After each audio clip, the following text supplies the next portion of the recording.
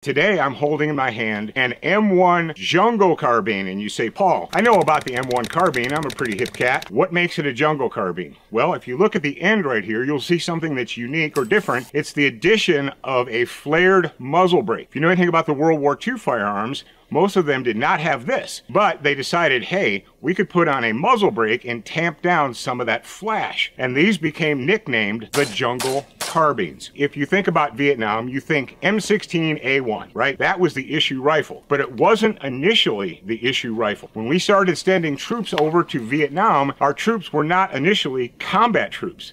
They were MAC-SOG, or the Military Advisory Command Studies and Observation Group. First guys, the first Americans to go to Vietnam were there to advise and instruct, not to engage in combat. What did we have at the very beginning of our involvement in Vietnam? Literal Connex boxes full of M1 carbines.